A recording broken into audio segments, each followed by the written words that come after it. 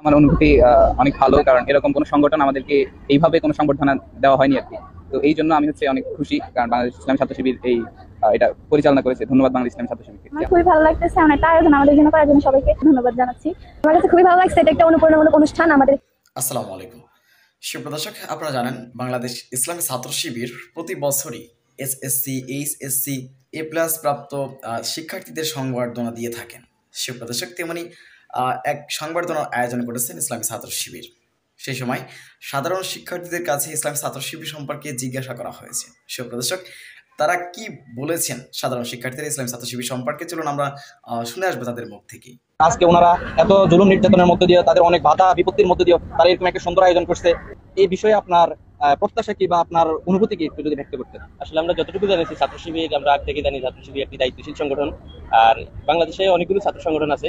যদিও তারা ছাত্র সংগঠন নামে ছাত্র রাজনীতি করে, কিন্তু এরকম দায়িত্বশীল সংগঠন আমরা খুব কম দেখেছি যে যারা তাদের ছাত্রদের মৌলিক অধিকার, ছাত্রদেরকে, ছাত্রদের যে কোনো সফলতার জায়গায় কংগ্রেচুলেশন জানানোর জন্য বা সেলিব্রেশন জানানোর মতো ছাত্র সংগঠন আমরা বাংলাদেশে আর দেখিনি। এই জন্য ছাত্র শিবিরকে অসংখ্য ধন্যবাদ। ছাত্র শিবির এই কাজগুলো দ্বারা দেশ এবং জাতির কল্যাণে আরও বেশি এগিয়ে যাবে এবং এই দেশকে সোনালী দেশ হিসেবে গড়ার জন্য সবচেয়ে বেশি অগ্রণী ভূমিকা পালন করবে বলে আমরা আশা করি ছাত্র শিবির কাছ থেকে।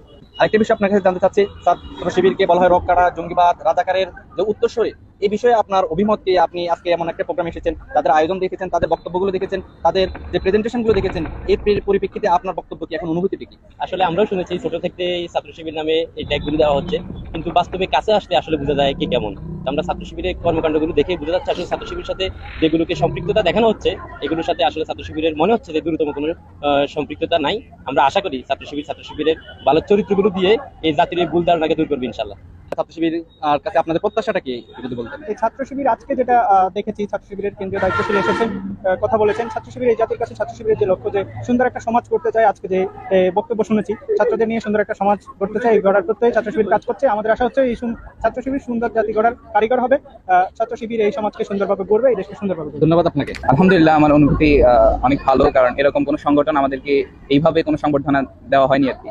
তো এই জন্য আমি হচ্ছে অনেক খুশি কারণ বাংলাদেশ ইসলাম ছাত্র শিবির এই এটা পরিচালনা করেছে। ধন্যবাদ বাংলাদেশ ইসলাম ছাত্র শিবিরকে যে আমাদের ভাইয়ারা আমাদেরকে অনেক ভালো ভালো দিক নির্দেশনা দিয়েছেন যেগুলো হচ্ছে আমাদের ভবিষ্যৎ জীবনের জন্য অনেক প্রয়োজন যেগুলো আমরা অতীতে জানতাম না আজকে সেদিন জানতে পেরেছি আর আমার খুবই ভালো লাগতেছে অনেকটা আয়োজন আমাদের জন্য করার জন্য সবাইকে ধন্যবাদ জানাচ্ছি। আমার কাছে খুবই ভালো লাগছে এটা একটা অনুপ্রেরণামূলক অনুষ্ঠান আমাদের এখানে ডাকার জন্য আমরা তাদেরকে অসংখ্য ধন্যবাদ মানে ধন্যবাদ জানাচ্ছি আর কি। আমাদেরকে একটা অনুপ্রেরণা দেওয়ার জন্য যাতে আমরা ভবিষ্যতে ভালো কিছু করতে পারি। এটা একটা অনুপ্রেরণা অনুষ্ঠান ধন্যবাদ তাদের সবাইকে আয়োজিত করার জন্য। আলহামদুলিল্লাহ ভালোই কারণ নিজের অর্জনের কোনো জিনিস যদি নিজেকে আবার উপহার হিসেবে দেয়, তো সেটা অনেক ভালোই লাগে। আর আল্লাহ রহমতে সত্যি অনেক ভালোই লাগে যদি কোনো জিনিস প্রাপ্তি আসে। তো এটাই, প্রাপ্তিতে আসলে তৃপ্তি নেই, কিন্তু তবুও আলহামদুলিল্লাহ। অনেক শিক্ষা ছিল এখানে, অনেক মোটিভেশন ছিল। আমাদের আগামী দিনের জন্য অনেক আশা, আকাঙ্ক্ষা আর ভালো কিছু অর্জনের জন্য একটা উৎসাহ পেলাম। সব মিলে আলহামদুলিল্লাহ।